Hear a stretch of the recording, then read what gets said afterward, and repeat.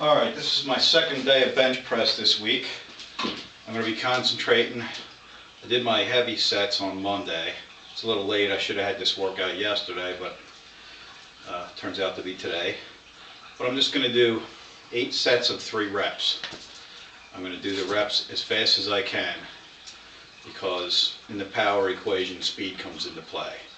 So it's not just about how much weight you lift for how many reps, it's how fast you generate the, the reps up.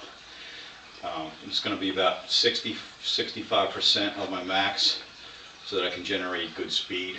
And I'm going to stick with this weight for the whole eight sets. Little rest as possible in between. Not Much more than a minute in between sets. Two is unacceptable. Anything beyond two minutes.